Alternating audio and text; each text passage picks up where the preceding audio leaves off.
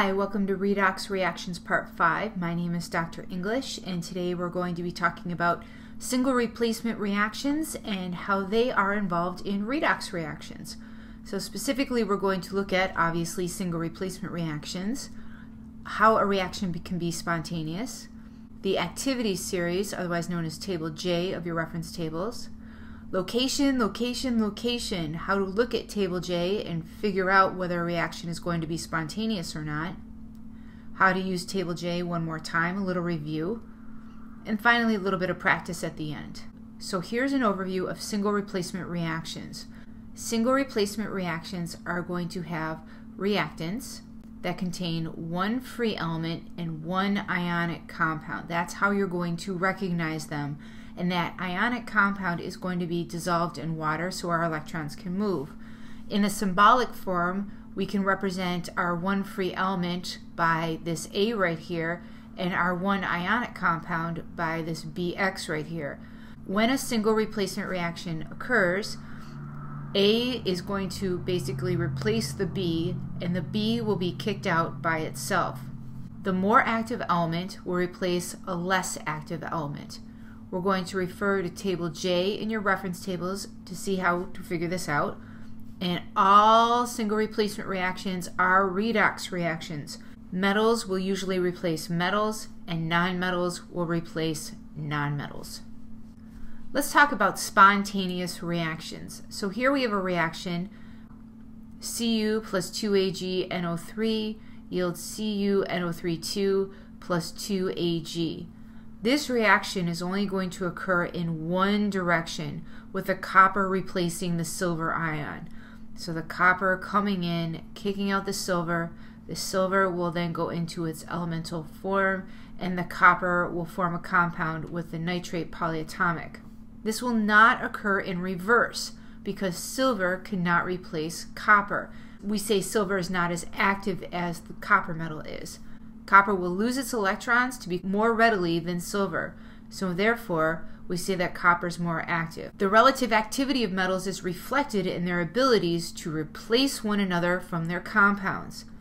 A chart of element activity is a list, a list that ranks metals and nonmetals according to their relative activity.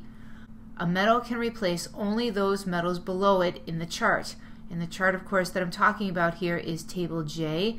And table J is going to determine which metals are active and which metals are not as active. So let's look at table J, this activity series. We're going to find that the most active metals are going to be found at the top left of the chart. So when we look here, these metals up here are going to be our most active ones. These metals that I've highlighted right here will oxidize or lose their electrons most easily. Your most active nonmetals are found near the top right side of the chart. Nonmetals will reduce or gain electrons most easily. So here we have our most active metals at the top and our least active metals at the bottom. And then only really four identified nonmetals that we might see in a single replacement reaction. We really need to look at this list and notice where the metals are located. Like I said before, your most active metals are going to be found at the very top, and they are found in groups 1 and 2. So, looking at elements like lithium and potassium, strontium, and magnesium. These are all groups 1 and 2 metals. Your less active metals are going to be your transition metals, and we find them sort of in the middle. Your titanium, or your iron, or your nickel. We also have zinc and chromium, manganese. Then we have the metals that are below hydrogen, which is the standard by which all activity of other metals are based, and hydrogen is located right here. These will be our least active metals, in other words, known as the otherwise known as the coinage metals, your copper, your silver, your gold. Let's look now at how to use table J, a little reminder from what we learned before in chemical reaction. I'm going to look at the element copper, and copper is located right here. Here is copper. Copper can replace silver if silver was an ion in a compound in aqueous solution. Because copper is above silver, it can go down and replace it. Copper cannot replace magnesium Here's magnesium way up here. Copper is too low on the list. So if copper went up and whoa, tried to replace magnesium, not going to happen. Cannot happen. Copper can only replace those metals that are below it in this activity series. Let's look at another reaction. Zinc reacts with silver nitrate. So let's find zinc. Zinc is right here. And let's find silver. Silver's way down here. So the question is, can zinc replace silver? And the answer, of course, would be yes, because zinc is higher up on table J than silver is.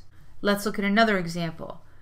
Copper and potassium carbonate. All right, so let's find copper, using copper a lot here. There's copper, and potassium is way up here. So do you think that copper can replace potassium? No, no it cannot. Copper can only replace silver and gold. Any metal above it, it will not be able to replace.